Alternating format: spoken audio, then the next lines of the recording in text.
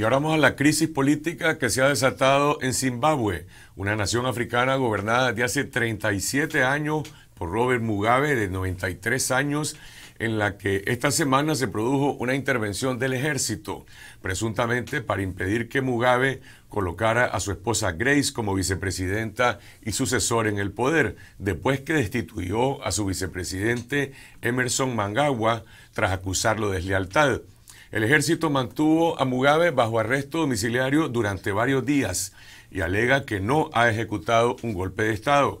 Pero este viernes Mugabe reapareció en público junto a algunos altos militares y ahora están negociando la renuncia del presidente para dar lugar a un proceso de transición. Nos acompaña Alejandro Bendaña, historiador, analista de temas internacionales y ha sido también consultor internacional en varios países de conflicto en África. Buenas noches, Alejandro. Buenas noches, Carlos. Alejandro, Mugabe llegó al poder como el líder de la independencia de Zimbabue en 1980, pero después de 37 años en el poder es visto como un dictador. ¿Cómo se produce esta involución? Bueno, Mugabe efectivamente fue un líder muy respetado y querido, simbólico de aquella generación de líderes en el poder que llegaron como producto de la lucha contra el, colonialismo inglés o el colonialismo blanco, en el caso de la vieja Rhodesia que se volvió a Zimbabue, y que apoyaron en primera línea a la lucha contra el apartheid en esa primera época, digamos hasta el, hasta el 95, 96, eh, eh, Zimbabue se convirtió en un país, eh, el granero de África, enorme prestigio y presencia internacional, y comandado por el SANU PF, a cuya cabeza está Mugabe.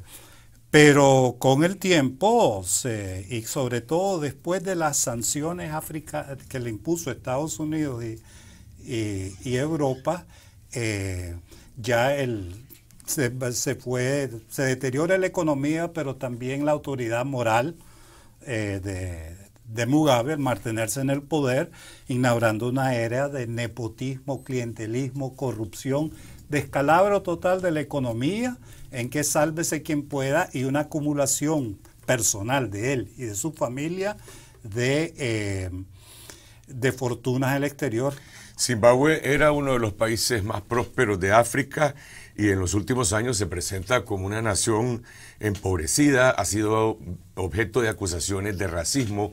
Eh, ¿Vos viviste en algún momento de primera mano la crisis de Zimbabue? Sí, sí, estuve en uno de los momentos más álgidos que fue inicios de, 2008 y todavía tengo este, este recuerdo de, un billetito de, de 5 billones de dólares zimbabuenses, que en ese momento equivalía a 40 centavos dólar a inicios de año. Ya para mediados de año no, había nada. La economía colapsó en ese momento y no ha vuelto a despegar llegando a, términos de inflación hasta de, alguien le calculó 80 mil, 80 trillones, 89 ceros eh, eh, de, de, inflación.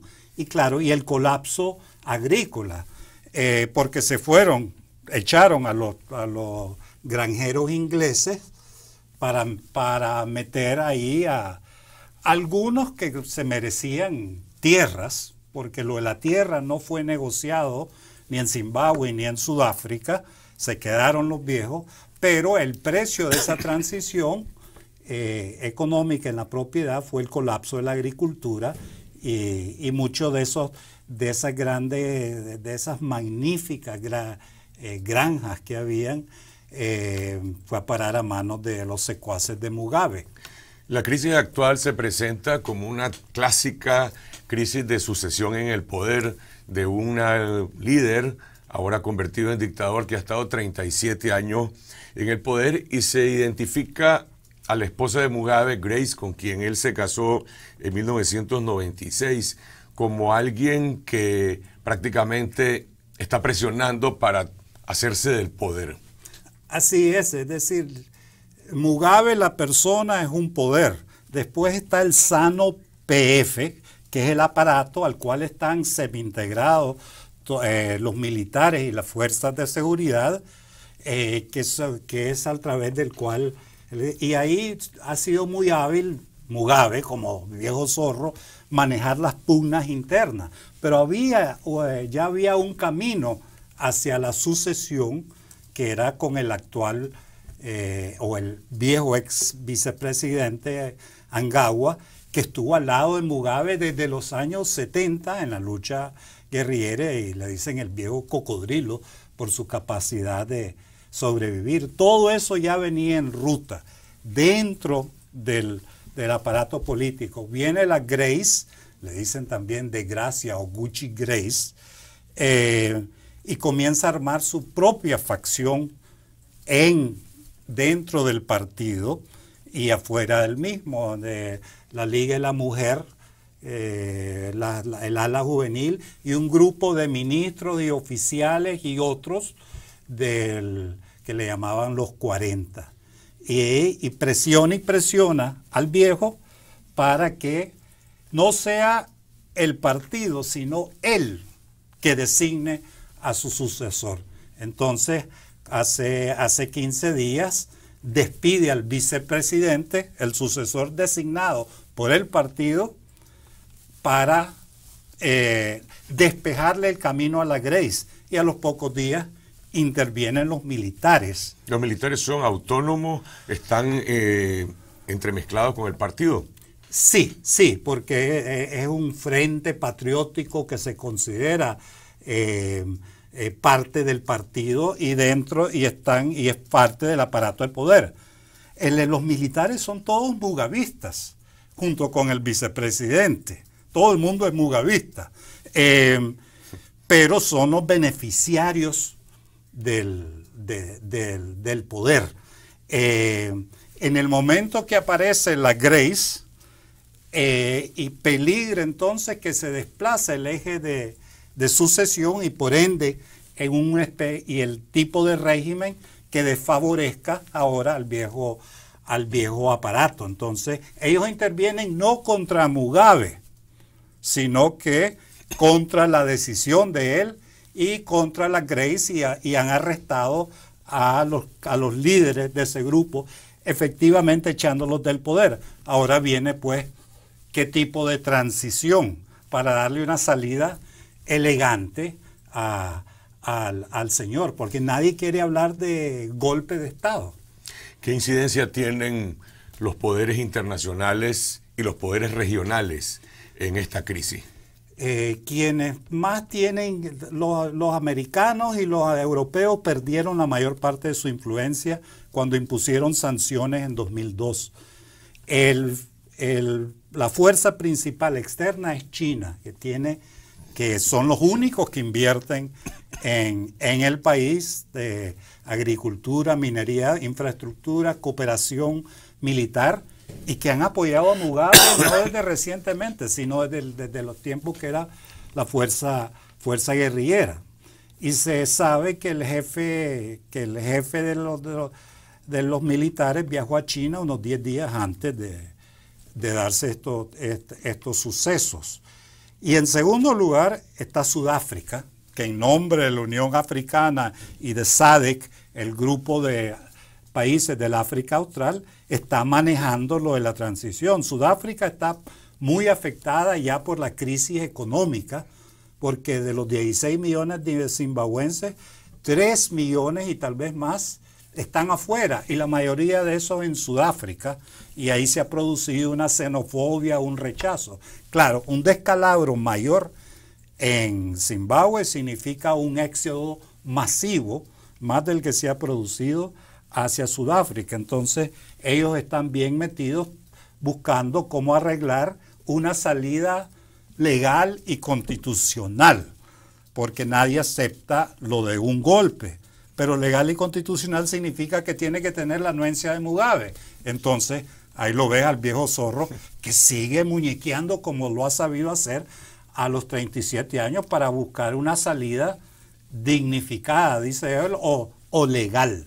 desde el punto de vista de las transiciones en África o de los procesos, de los conflictos políticos que se viven en estos países, ¿qué representa esta crisis de Mugabe, de Zimbabue, que se, que se puede aprender en otros países? Eh, eh, dos cosas. Una, en África como en, como en América Latina, ya los organismos regionales tienen un rechazo a cualquier cosa que huela a golpe militar. Entonces, eh, si se entabra un militar y se echa a Mugabe por la fuerza, habrá un rechazo internacional. Así que eso está fuera del juego y es una ficha que tiene, que tiene Mugabe, que no, pero desde, otro punto de vista, esa longevidad en el poder, pues simplemente se vuelve una, una cuestión embarazosa para toda, para todo, para todo el continente. No es el, no, es la, no es el ejemplo de Mandela y de otros, o de Kaunda, de esa misma generación, que, que supieron hacer una transición eh, en vida. Pero a la vez, Robert Mugabe es un ícono de la historia por el papel que jugó en la transición, no solo en Zimbabue, sino en Sudáfrica.